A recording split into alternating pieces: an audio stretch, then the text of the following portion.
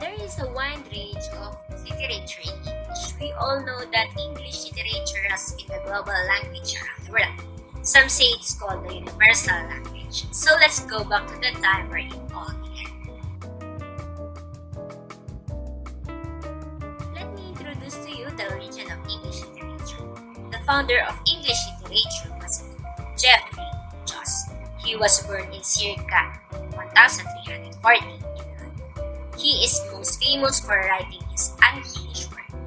He passed away on October 25, 1400 in London, and was the first to be buried in the famed Westminster Abbey's Poets Corner. Now, as we move on, let's talk about the different time of English literature on how it started until the day we have now. So the following are the different periods of English literature. First, Old English, Anglo-Saxon period. Second, Middle English period. Third, the Renaissance period. Fourth, the Neoclassical period. Fifth, the Romantic period. Sixth, the Victorian Age period. Seven, the Edwardian period. Eight, the Georgian period. 9. The modern period. Tenth, The postmodern period. These are some of the periods which give us the change to what we are now. So why is it important? Especially due to the changes on the literature in different time periods. So as we tackle on why English literature is important to us because the lessons and messages passed on in the English literature class include critical thinking, analytical skills, and creative experiments. The literature also shows on helping us explore and analyze some of the life greatest questions and assist young people in gaining the skills required for a deeper understanding in life. So the fact that the literature is one of the most important and detailed forms of cultural expressions and documentations. Along with the music and visual arts, it is how we know what a culture was like. Without written literature, we wouldn't have much of cultural or historic understanding of what came before us. The English or American countries literature shapes the world in a place where studying English literature opens up a world of inspiration and creativity, while also developing skills that are essential for today's global environment.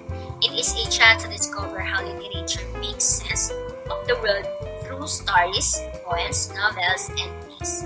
It is also a chance to sharpen your own ability to write, read, analyze, and persuade. In Philippine history, there are five periods of Philippine literature. First, pre-colonial period. It is based on oral traditions like folk speeches, including riddles, salawikain, and many more.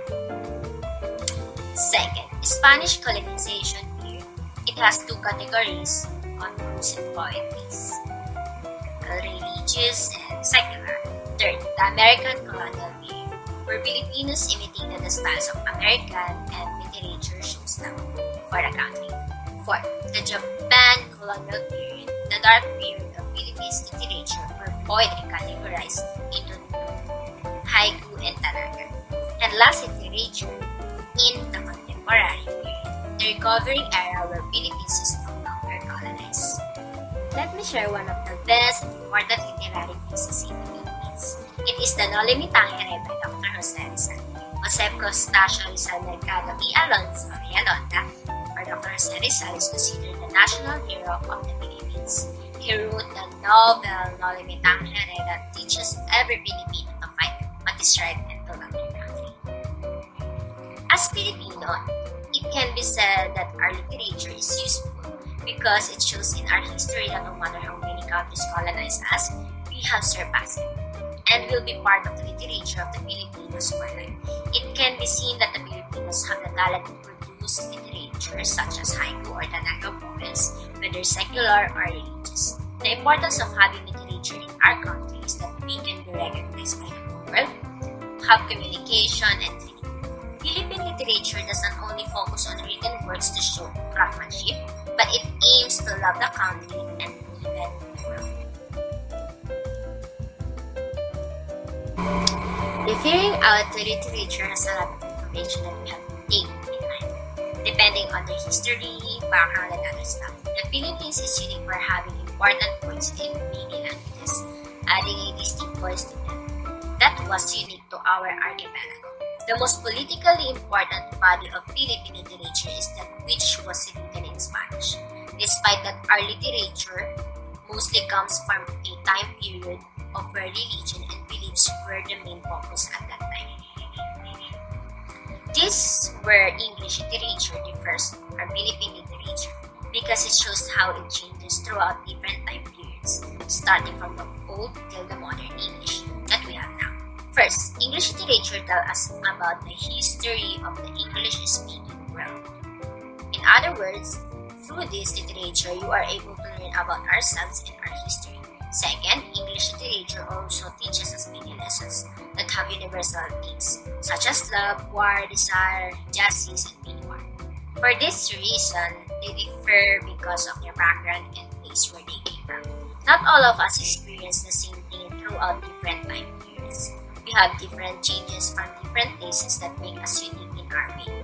As the times goes by, our history changes depending on what we do or what we create in our country. That serves to bring our own literature.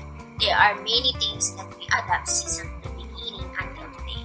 A lot of us have discovered something that gave the biggest change to our literature throughout the time. As for the current status of our literature, we now live in 21st century we still have our literature in today's period. But as the times goes by, we are slowly adapting the English literature as it is slowly becomes closer to our country.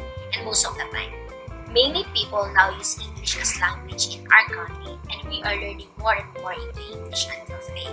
While the English is still English literature, it just becomes more modern as the time goes by. The literature is just evolving to something new, while ours is slowly turning theirs. As for the writers, we currently have a few writers in 21st century compared to the old ages where many people are eager to write something about anything that gave the most impact throughout the history.